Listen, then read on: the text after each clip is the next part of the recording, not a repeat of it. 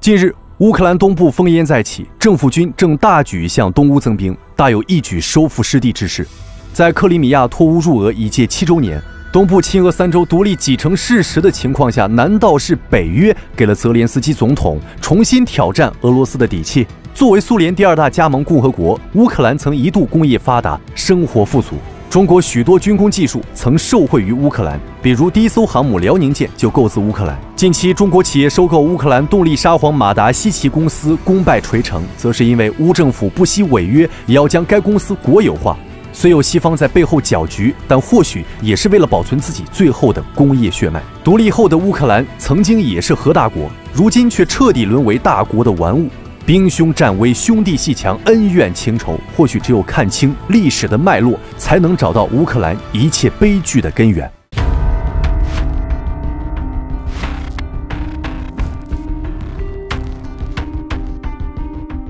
赫鲁晓夫第一次离开乌克兰奔赴莫斯科时，已经三十五岁了。他出生在俄罗斯库尔斯克贫苦农民家庭，老爸是乌克兰人，常年在外打工赚钱，在沙俄各个城市做过铁路工人。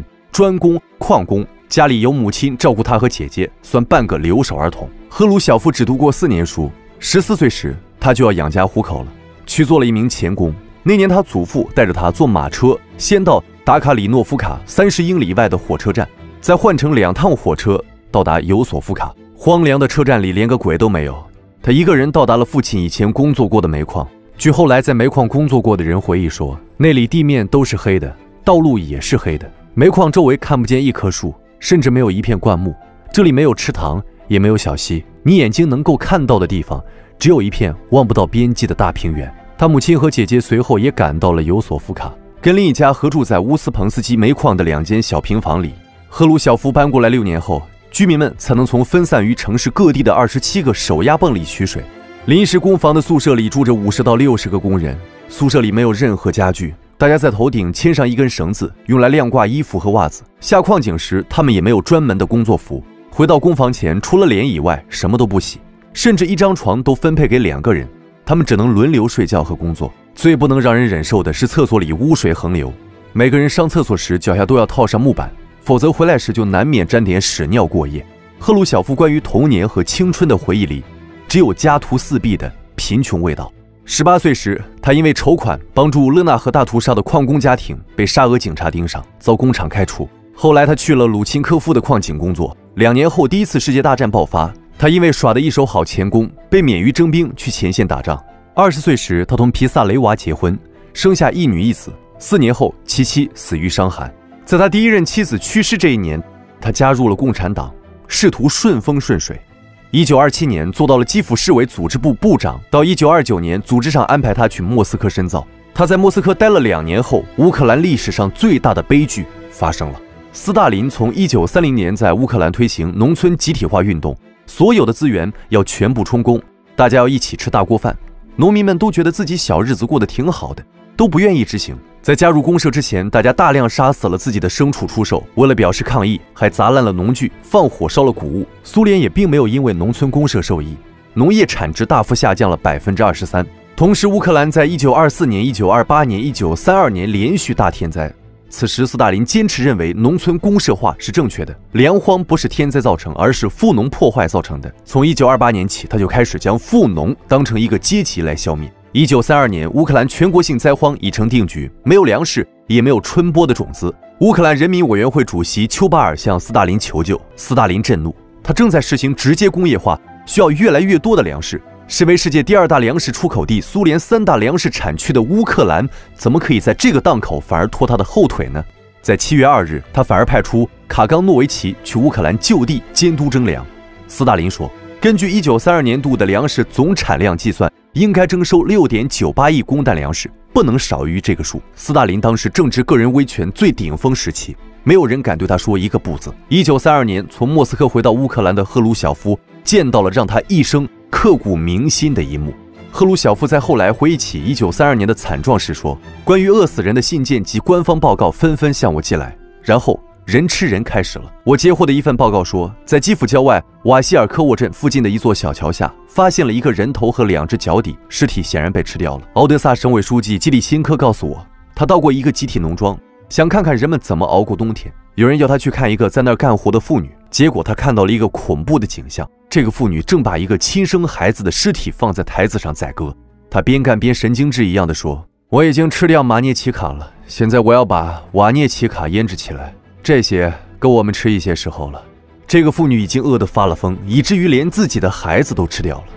征粮队也知道乌克兰没有多少余粮，但是他们不敢违背斯大林的意愿，所以他们相当于在乌克兰进行了一次大洗劫。农民手中仅有的粮食、家禽等被劫掠一空。在冬天的时候，农民靠着树皮、干草磨成粉，有人甚至把之前埋在地下的有病的猫狗都挖出来吃了。在第二年春天的时候，斯大林象征性的运了五百吨粮食给乌克兰，但是从乌克兰运往外地的粮食一直没有停过。赫鲁晓夫向中央打了报告，申请粮食援助，但斯大林给他发来了一份粗暴的、侮辱人格的电报。斯大林大骂他是一个靠不住的人物，想替乌克兰出头。这些档案还留存在发黄的档案纸上。赫鲁晓夫遭到了斯大林劈头盖脸的辱骂。赫鲁晓夫以性格粗野闻名，但在斯大林强大的黑暗魔法面前，他就是个弱鸡。他只觉全身冰冷，却无能为力。一九三三年六月二日，比尔哥罗德州奥格布负责人向州委报告说，在洛兹良斯克乡维什涅沃农庄，一个贫农庄园雅科夫列夫娜把自己已经饿死的四个孩子中的三个煮熟吃掉了。他还上报了一个工人的信件。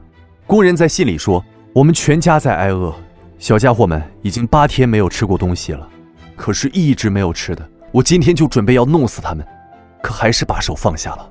我决定再希望一次，您能帮帮我，我求您了。如果给不了食物的话，看来就得饿死了。”这位工人估计至死也没有等来救援。面对困境，一九三二年，苏联最高法反而宣布，任何人不得盗窃集体农庄财物，有情况的直接判处死刑。直接剥夺了农民最后的财产。第二年春天，灾情加重后，苏联当局宣布不得擅自离开乌克兰，否则以流民论处，而且在乌克兰灾区外围直接设置警戒。一九三二年的乌克兰活生生变成了人间地狱。据乌克兰后期统计，一九三二到一九三三年，乌克兰共饿死三百一十五到七百一十八万人左右。斯大林给乌克兰造成了巨大的灾难，但在推进乌克兰工业化方面却是积极的。关于工业化，斯大林认为我们落后于先进国家五十到一百年，我们应该在十年内跨越这一距离。因此，他实行了直接工业化这个庞大计划。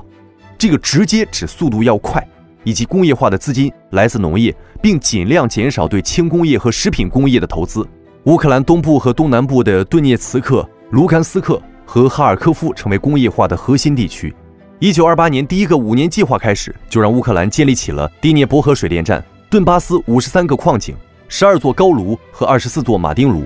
后面的两个五年计划更完成了扎波罗热钢厂、亚速钢厂、克里沃罗格钢厂、克拉马托尔斯克机械制造厂、卢甘斯克蒸汽机车制造厂、马凯耶夫斯克冶金厂等等。由于这些地方主要建立在乌克兰东部，让东部乌克兰受益良多，所以到二零一九年，我们看到的乌克兰东部对俄罗斯还有一定的美好情节，而西部则完全以讲俄语为耻。除了工业化，对乌克兰影响深远的就是天然气管道。今天的乌克兰主要依靠俄罗斯的天然气，但其实乌克兰原先是产天然气的。在苏联时期，乌克兰有三个天然气气田：卡尔巴莫山前地区、黑海沿岸和克里米亚地区、第聂伯顿涅茨克地区。一九七五年时，乌克兰的天然气开采量达到了六百八十七亿立方米。这些天然气输向了俄罗斯、白俄罗斯、波罗的海三国，或者卖给欧洲换取外汇，同美国搞军备竞赛。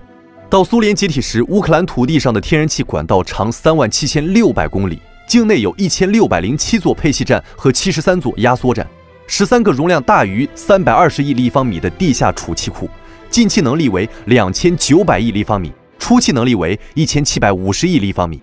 三万七千六百公里的天然气管主要由联盟天气管道、乌连戈伊波马雷乌日戈罗德天然气管道、进步天然气管道、友谊天然气管道及其干线和网络组成。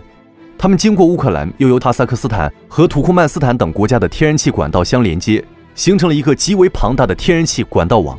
到二零一九年，乌克兰这些辉煌过的气田基本枯竭，俄罗斯在西伯利亚等地又发现了新的大气田。现在乌克兰的天然气全指望着俄罗斯供应，等它经过几十年发展，拥有密密麻麻的过境管道。